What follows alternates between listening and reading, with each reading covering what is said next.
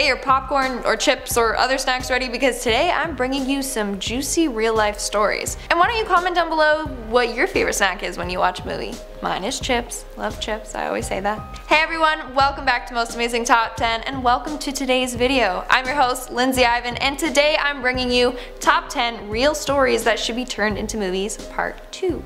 If you haven't already, I suggest you also watch part 1. And like I said in part 1, if you end up using my ideas, you know, feel free to hire me as an actress or uh, give me a share of that money. Starting off at number 10, we have The Exorcism. Now, I know that there are tons of exorcism movies out there, but this next one, it needs to be made into a movie for sure. Let me explain. So a family in North London claimed that their 26 year old son was a victim of possession. In August of 2016 they claimed that their son Kennedy Ife started to act more violent. He would say that a snake was living inside of him. He bit his father and he threatened to harm himself. This is when they restrained him to his bed. They then proceeded to conduct an exorcism on Kennedy. The family was very convinced that a demon was inside of Kennedy and that's what Kennedy referred to as the snake in his body. They left Kennedy strapped to the bed for three days without any medical attention. For those three days they would just pray continuously. However, this sadly didn't work. He ended up developing breathing issues and passed away. When police arrived, they found that the family had tried to resurrect Kennedy from the dead.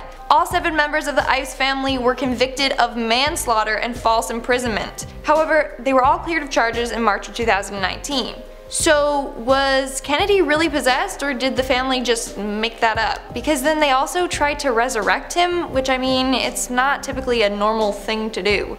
But imagine that as a movie. I'd watch it. It's a pretty interesting story for me. Also, if he was possessed, where did the demon go? Like, who's its new host? Because if a host dies, it doesn't necessarily mean that the demon will too. Maybe that could be explored in the movie adaptation. Moving on, at number 9 we have Rig 12. Now, this next story comes from the perspective of a paramedic who was an ambulance driver. It's from the Reddit user Zerbo. Well, they have stated that a lot of paramedics have had a spooky encounter with a haunted ambulance. Maybe it's from somebody who passed away in the back they don't know. But it's always in the ambulance known as Rig 12. So it was 3am, which bad start already, that's the witching hour. Anyways, him and his partner were both waiting in their ambulance in a small community. That's when they heard a man say, oh my god, am I dying? Then they heard heavy breathing. After that, they heard the oxygen bottle hiss, as if air was being seeped out to help him with his heavy breathing. They thought for sure somebody was in the back of the ambulance. But when they went to investigate, there was nothing there. The oxygen bottle wasn't even touched. Okay, so like a film about a haunted ambulance sounds kinda lame, but imagine a film about the patients that died in the vehicle that keep reliving their deaths and haunting the paramedics. Like come on, it's not a bad idea, it's, maybe it's not Oscar worthy, but there's definitely some potential with this concept. In our 8th spot we have Stalker Mom.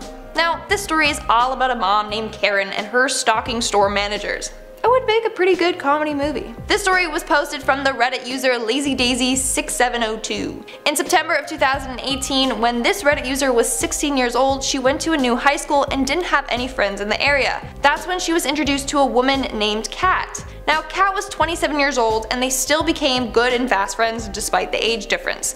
They would see each other fairly often and just hang out. Then it got to a point where Kat would want her to stay over two or more times a week. She would call her every other day and sometimes even call 13 times a day. Kat also gave her a necklace saying I love you to the moon and back and had a heart attached that said daughter. So she would joke saying that she was like her adopted mom. Then it started getting more darker. At one point this Reddit user and Kat weren't seeing each other that often. As a result, Kat had a breakdown and tried to kill her other friend.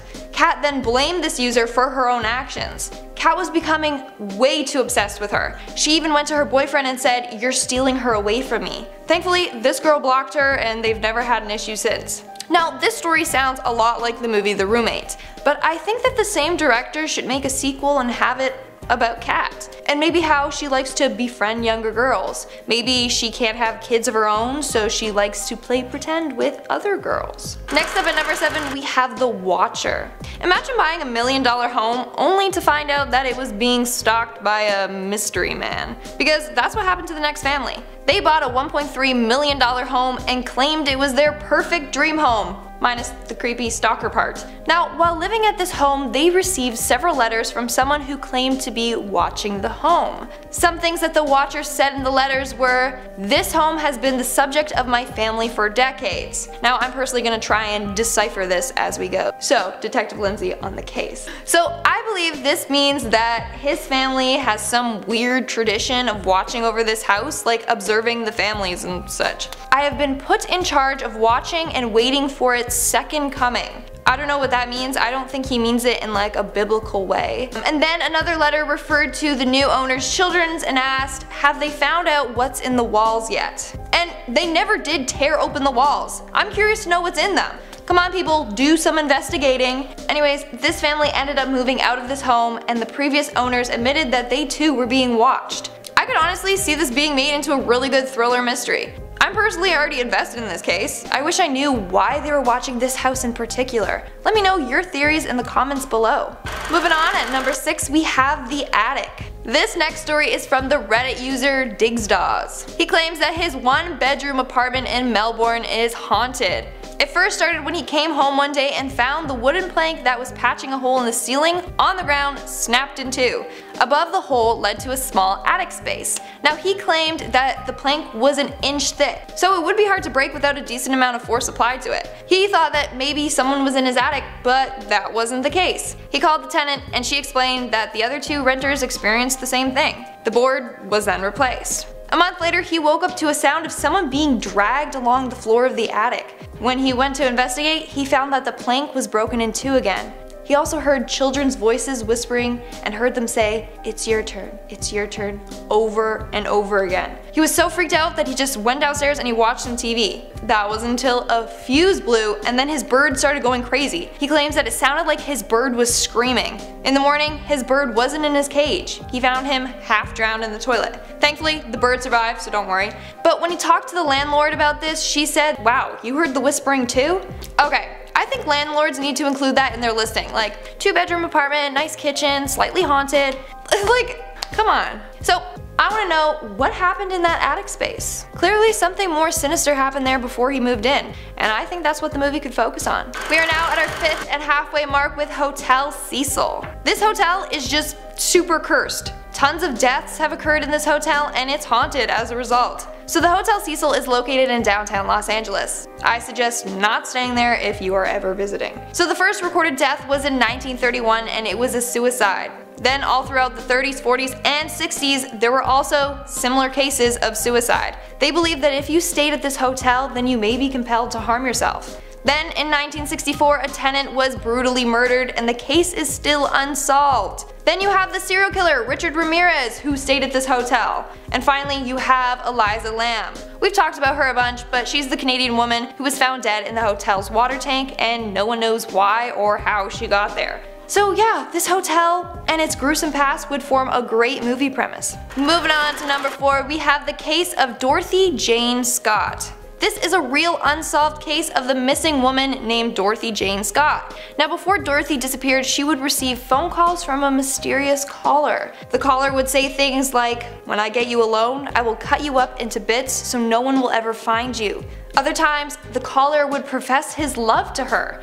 Now, Dorothy did say that she recognized the man's voice but just couldn't identify who it was. In May of 1980, Dorothy was kidnapped and never seen again. So that night she was at a work meeting. One of her colleagues started to become sick so she offered to take him to the hospital. When he was released, Dorothy went to her car to bring it to the front of the hospital. The last thing her colleague saw was her car speeding away. They don't know who was driving it. Later, Dorothy's family started to receive phone calls asking if they were related to her, and it would end by saying, I've got her. They've never found Dorothy or any clues to who this caller may be.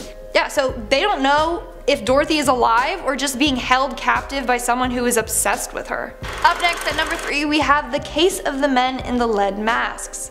This next case is so fascinating and mysterious I actually love it. So in 1966 in Rio de Janeiro, Brazil, two electronics repairmen were found dead. What was strange about this is that they were both found wearing business suits, waterproof coats, and lead eye masks. You know, what people wear when they are going to be exposed to radiation, but then why did they only have the eyepieces and not the full mask? I guess that's part of the mystery. Anyways, with them, there was a notebook that read 4.30 p.m. be at determined place. 6.30 p.m. swallow capsules, wait for mask signal. Now there are a bunch of theories about this case. Some hypothesize that they had a plot with a nuclear reactor, or were part of a doomsday cult. But the most common theory was that they were trying to contact UFOs. In fact, the area that they were in had been getting a lot of reports of UFO sightings. Now what frustrates me about this case is that there were no toxicology reports done.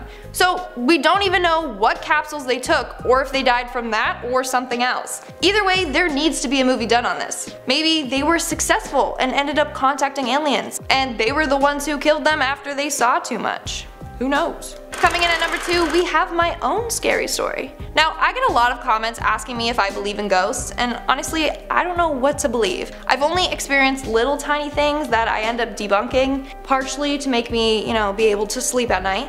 Alright, so my story. When I was younger, I was a leader for an arts camp. Now this camp took place in an old house. It was a historic site and it was used for camps and other activities. But the camp coordinator always said how it was haunted. He claimed that it was once owned by a man. This man ended up faking a robbery in order to get insurance money. He even went as far as to shoot himself in his own leg to make the scene look more realistic. Sadly, he ended up bleeding to death before the cops arrived. Now, people have seen his apparition all throughout the building. There have even been reports of the alarm system being triggered, but when police arrived, no one is there. This has happened several times and police have even seen this man's face at the window. Now, when I was a leader there, I would deliberately avoid the basement because that was the most haunted space. In the corner where he passed away, it was much warmer than the rest of the basement. Also, the lights down there were motion activated and there were times when they would just turn on by themselves. I personally would feel super uneasy going down to that basement. In fact, there was one time where a group of us were down there filming a video, and all of a sudden, two of the staff just felt something at the exact same time and ran upstairs crying. And lastly, this is the freakiest thing of all. In one of the rooms in the basement, the camp coordinator said that the ghost likes to stay in there. It's a room behind a thick heavy locked door. When he opened it, there was just a single chair in the middle of the room. This is the spot that he likes to sit. You could knock over that chair or move it and it would just always end up in the same spot. Now when I saw that chair, I felt like he was sitting right there watching us. Like it was a really weird feeling, I just knew he was there. So uh, yeah, a haunted camp, a man who accidentally killed himself to try and take his insurance money, all good basis for a movie plot. And in our number one spot, we have the Utah murder-suicide. Now, this story is very disturbing. In September of 2014, Utah teen Jason McGee entered his home and found his parents, Benjamin and Kristi Strack, and his three younger siblings dead. At first, police did not know why the parents would kill themselves and their children. Later, they discovered the creepy truth. So, when Jansen came home, all he found was a to-do list for him. It said things like feed the pets, watch over the house. But that was the only thing left for him. There was no suicide note, nothing. When he went upstairs to the master bedroom, him and his grandmother found his family's body spread across the floor. After investigation, police found that the parents were convinced that there was an oncoming apocalypse and wanted to escape this evil before it happened. They also found that the mother, Kristi Strack, was in contact with Dan Lafferty, a killer who murdered his sister-in-law and her daughter. Apparently, they became good friends after exchanging numerous letters. Kristi and Benjamin would both even visit him in prison. Police think that Dan also had a big influence on them and pushed them to harm themselves. What's sad is how the kids didn't really have a choice and how they were convinced that this was the right thing to do.